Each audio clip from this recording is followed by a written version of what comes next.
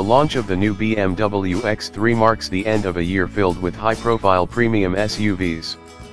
We've seen the Audi Q5, Alfa Romeo Stelvio and Volvo XC60 all making waves in the segment in 2017, but it was the latter that impressed the most, and it's one of the key cars for the new X3 to beat.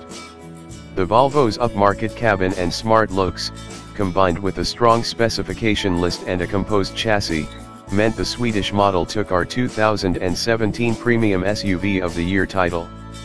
Then there's the Jaguar F-Pace, which is another favorite of ours and was the winner of our coveted Car of the Year award back in 2016.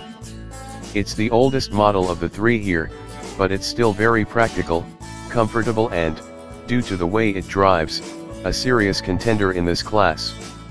So to take home a win the new X3 will need to bring together practicality, interior quality, a comfortable ride and engaging handling. That's quite a feat to achieve, but with the new BMW 5 Series taking a commanding victory in its own class as well this year, the X3, which shares similar tech, could do the same. Can it deliver? Read on as we give our definitive verdict. BMW has sold more than 1.5 million X3s since it first went on sale in 2003, but the previous second generation model was starting to feel old.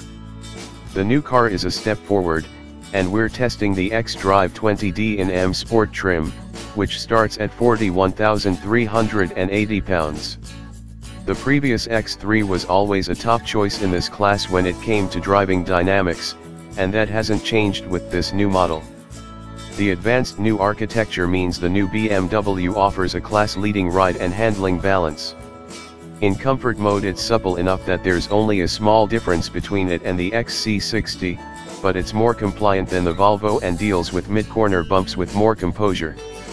The X3's steering isn't as quick as the Jaguars, and it doesn't quite match the F-Pace's agile handling, but it's so close behind and is also more comfortable, so for most buyers the BMW is the better choice. Then there's the performance, the BMW's power figures match its rivals here, but in our tests at the track it was significantly quicker.